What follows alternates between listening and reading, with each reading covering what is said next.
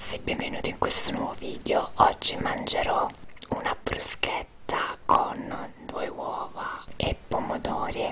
Sopra l'occhio di bue ci ho messo del formaggio. Guardate com'è è invitante.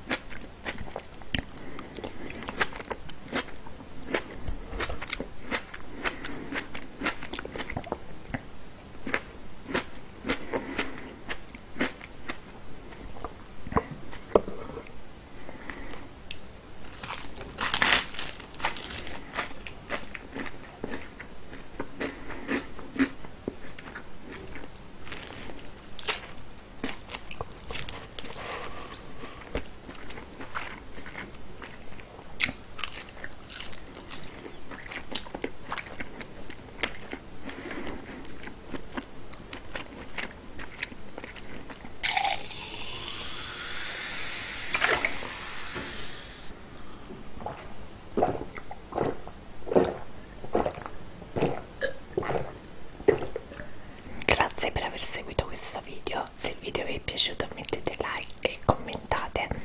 Se non siete ancora iscritti ai miei canali iscrivetevi e attivate la campanella. Arrivederci al prossimo video.